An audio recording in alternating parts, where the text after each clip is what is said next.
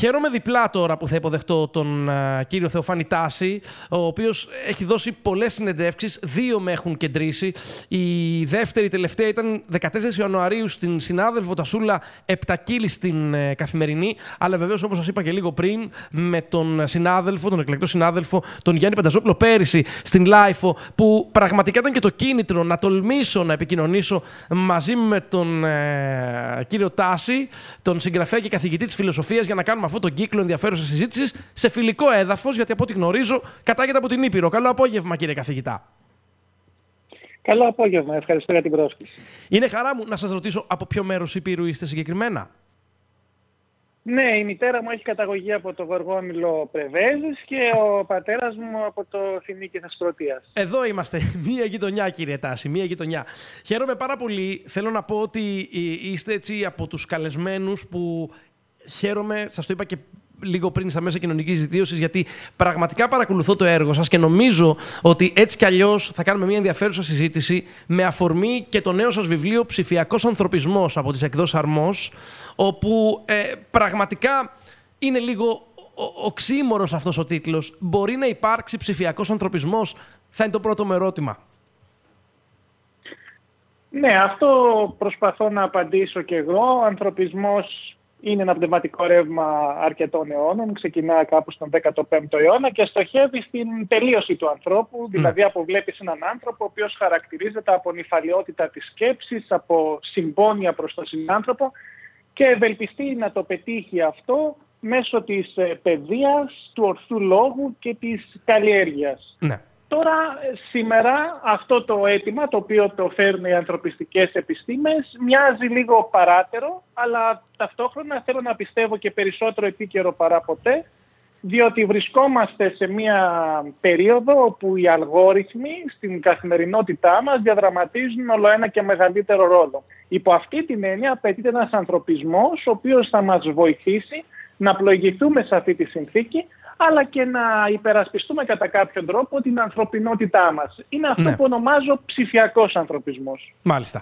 Μέσα από το βιβλίο σας ε, υπογραμμίζεται ε, ο, πως το διαρκές φαίνεστε γεννά και ένα διαρκές άγχος και μάλιστα συγκεκριμένα μία selfie συνιστά αυτοεπιβεβαίωση της αυτοεικόνας και μία αναγκαία επαλήθευση του φαίνεστε.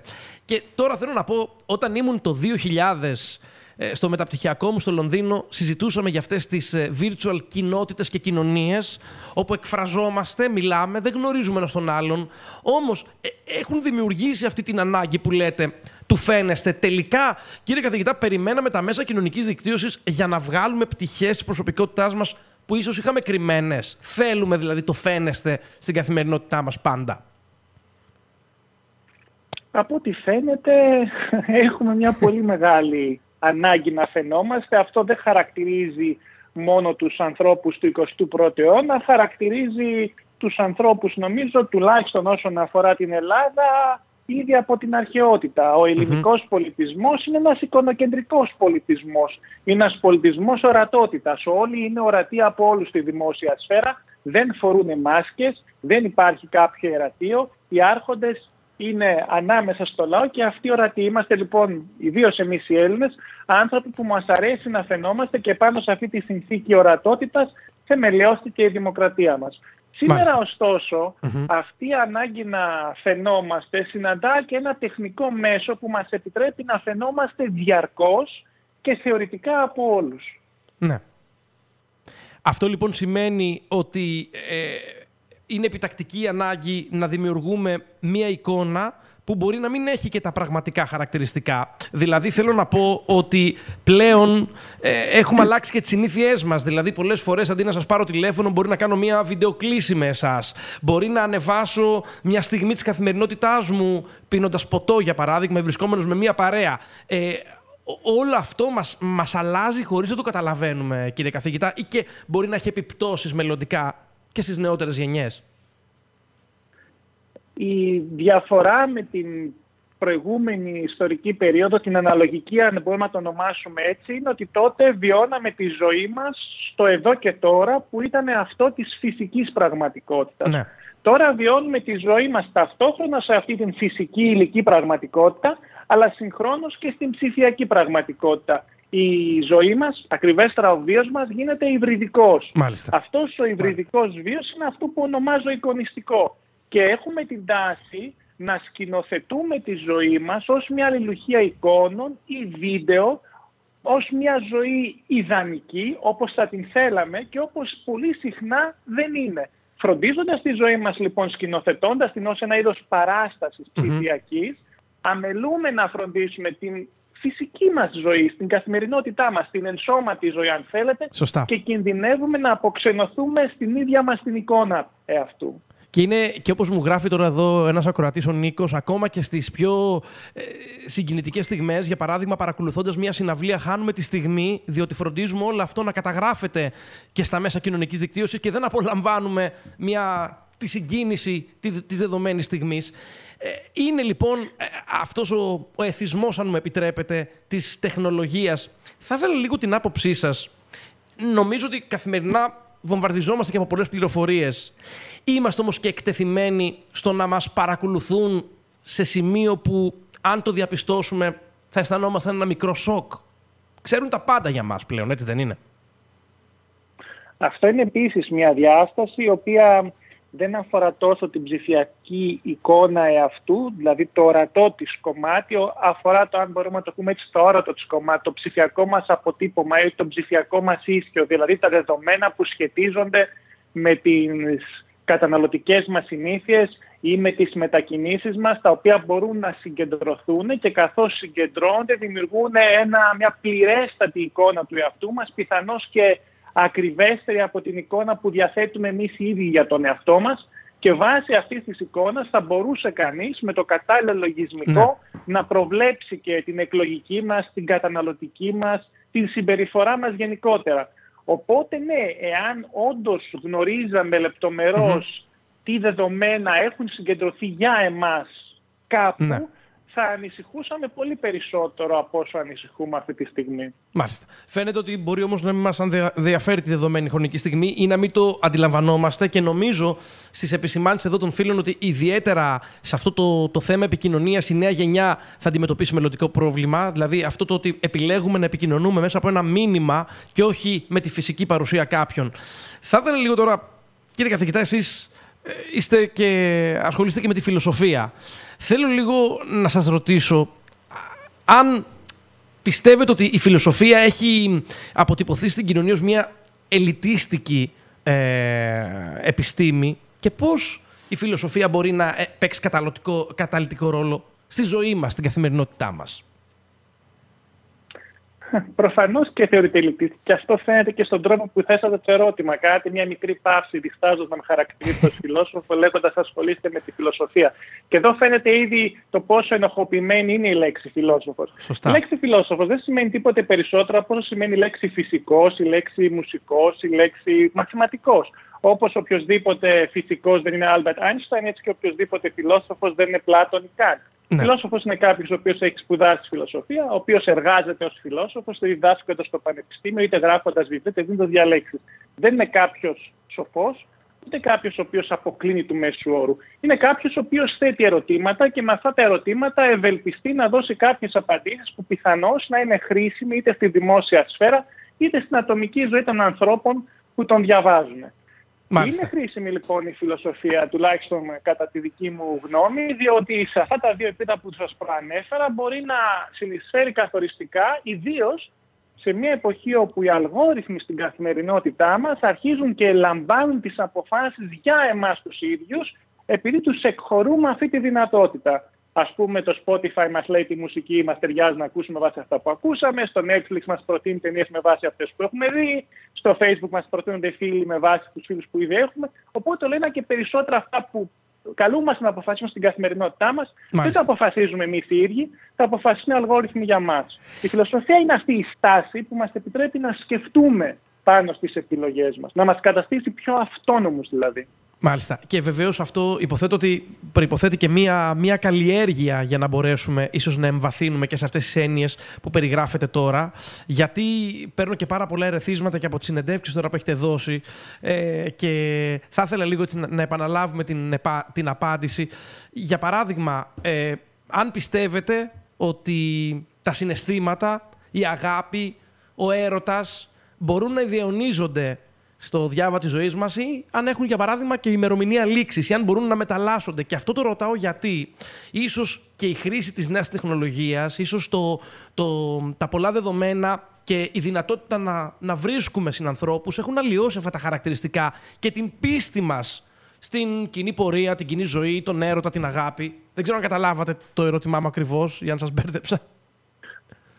Στο βαθμό που το αντιλαμβάνομαι, ναι. αυτό είναι ένα ερώτημα το οποίο μπορούμε και το θέτουμε εμείς που είμαστε ψηφιακοί μέτικοι, δηλαδή έχουμε γεννηθεί πρώτου ενώ δεν ξέρω τι σημασία έχει για όσους είναι ψηφιακοί ηθαγενείς, για όσους γεννήθηκαν δηλαδή μετά το διαδίκτυο, μετά το 1994. Δηλαδή παιδιά τα οποία έχουν κοινωνικοποιηθεί σε έναν κόσμο που ήταν ήδη διασυνδεδεμένος. Που ο, ο χώρος γίνεται ένα οπουδήποτε, που ο χρόνος γίνεται ένα οποτεδήποτε, που είναι συνηθισμένα να είναι διαρκώς προσβάσιμα και να είναι όλοι προσβάσιμοι σε αυτούς και τα πάντα προσβάσιμα, πληροφορία, διασκεδάσεις.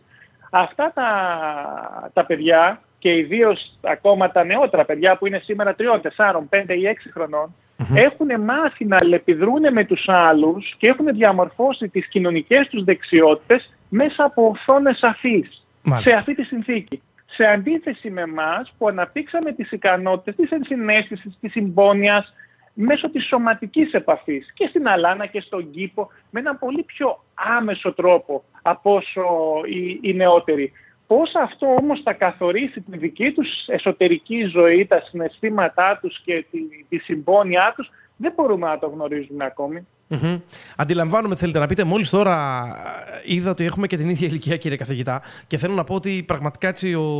Όχι, για αυτό το που είπατε λίγο πριν, ότι κόμπιασα για το φιλόσοφος και θέλω λίγο να με επιτρέψετε να, να, να μην νιώσω έτσι λίγο άδικα απέναντί σας.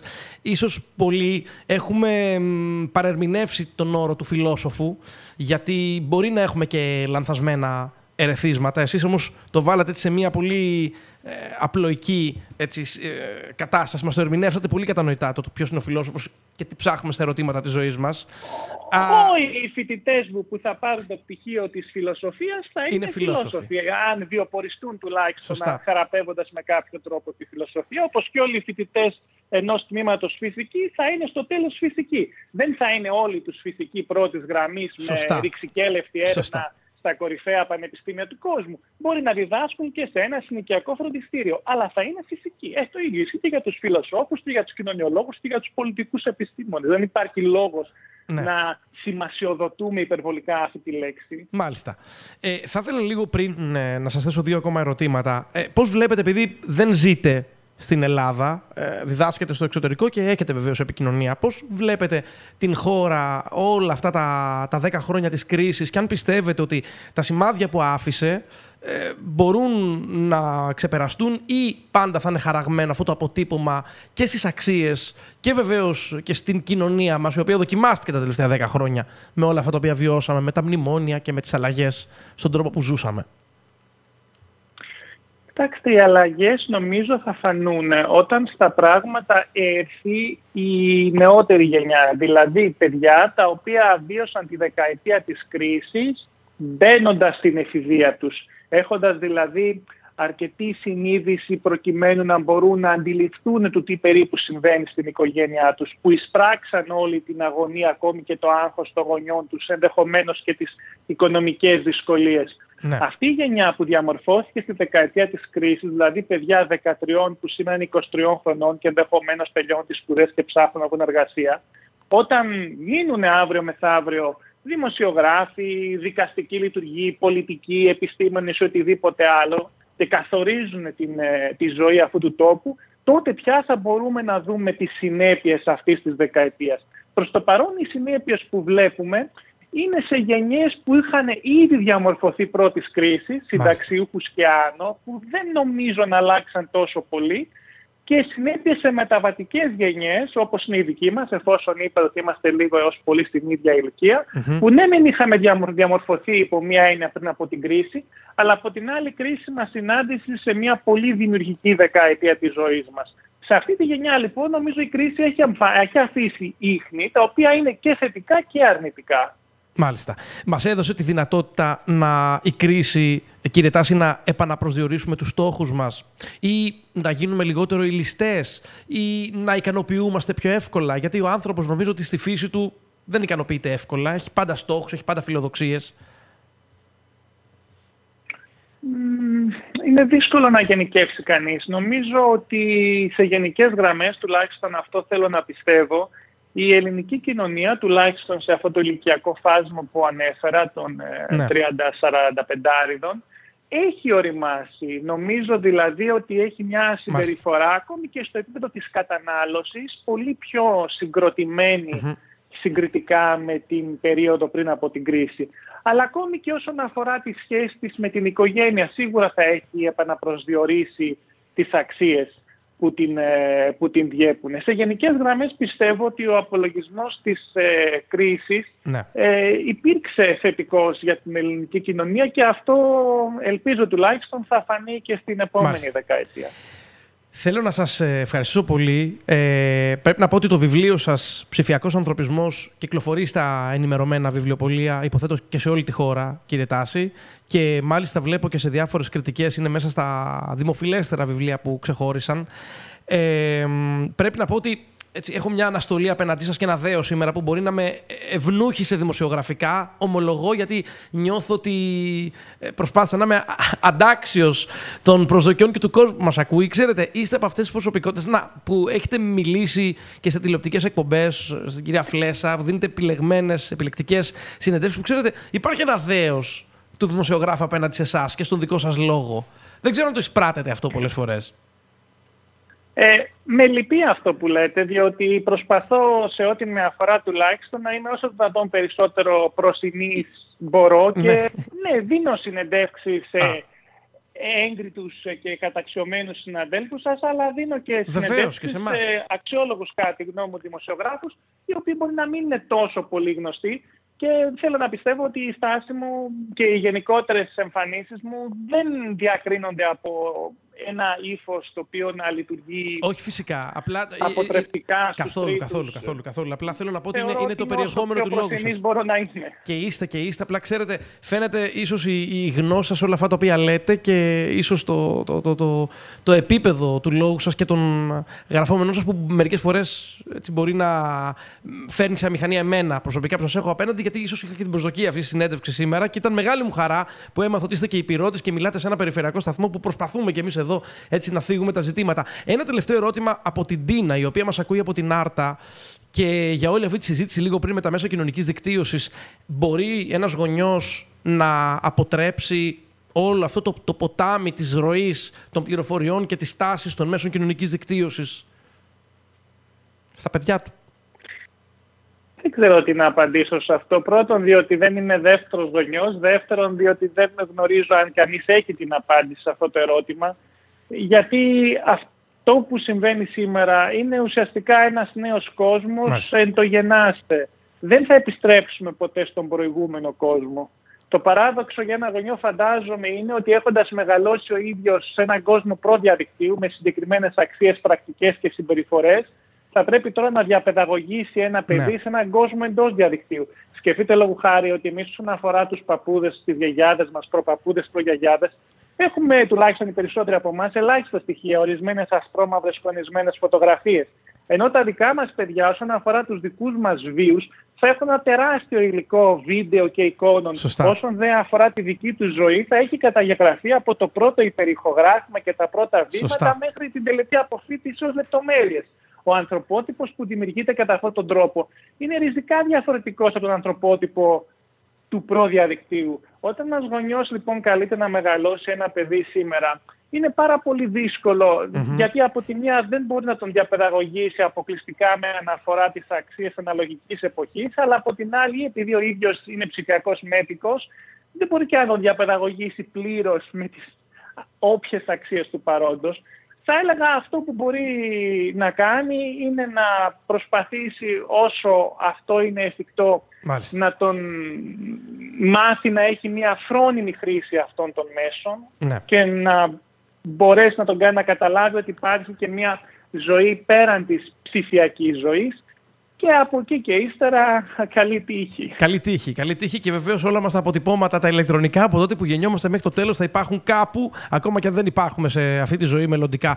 Κύριε Τάση, ε, θέλω να σας ευχηθώ καλύτερα. Έρχεστε συχνά στην Ελλάδα, δηλαδή επισκέπτεστε και τα. Έρχομαι, έρχομαι πολύ συχνά. Πολύ συχνά. Ναι, ναι, πολύ συχνά. συχνά. Πολύ συχνά. Διδάσκω και στο ανοιχτό πανεπιστήμιο. Α, πολύ ωραία. Έρχομαι μια φορά το μήνα τουλάχιστον. στην Τι Ελλάδα. σα λείπει, τι σας λείπει, αν συγκρίνουμε τη, τη ζωή σας σε μια άλλη χώρα, τι είναι αυτό που λείπει από την Ελλάδα, που νοσταλγείτε πολλές φορές και που όλοι λένε σαν την Ελλάδα πουθενά. Τι είναι αυτό που, που δεν έχει η Ευρώπη και έχουμε εμείς, οι υπόλοιπες, η υπόλοιπη χώρα που λένε σαν την Ελλάδα πουθενά.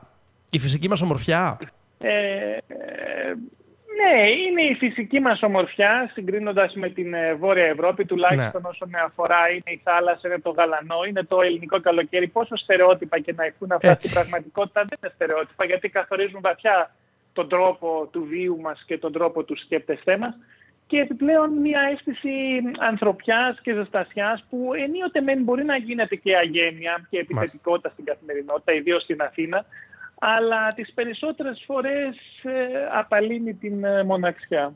Μάλιστα. Κύριε Τάση, σας εύχομαι τα καλύτερα. Ευχαριστούμε πάρα πολύ για το χρόνο σας. Καλή συνέχεια και. Τι να πω, τα καλύτερα Εγώ σε σας εσάς. ευχαριστώ πολύ. Ήταν χαρά μου. Για Να χαρά. είστε καλά και ελπίζω να τα πούμε και διαζώσεις και όχι ψηφιακά όπως Εννοείται το και θα είπαμε είναι, σήμερα. θα είναι ο επόμενος στόχος. Θα σας ενοχλώ, σας, ε, θέλω να σας γνωρίσω από κοντά πραγματικά. Σε μια επόμενη διάλεξή σας, κάπου θα έρθω να σας συναντήσω. Πραγματικά. Για να με υπογράψετε και το βιβλίο σας. Ευχαριστώ πολύ, κύριε Τάση. Να είστε καλά. Να είστε καλά και καλό απόγευμα στους ακροατές σας. Επίσης, να είστε καλά.